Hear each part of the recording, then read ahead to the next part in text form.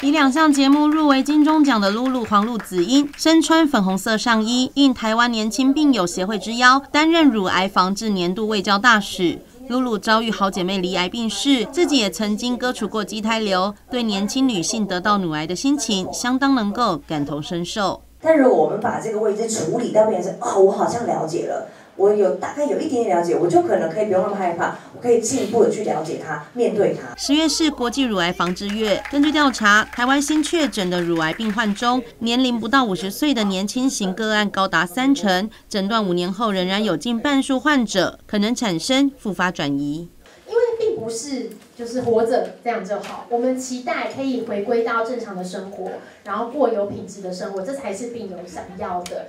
一个健康人的状况之下。还是要多关心自己。我们在座的所有女性，其实我们都暴露在风险之下。现代的医疗进步，可以透过基因检测找到合适的治疗方式，也可以用荷尔蒙疗法搭配辅助性化疗，延长生命，并且兼顾生活品质，让乳癌年轻型病友也能够继续展现自己的花样年华。记者陈华场报道。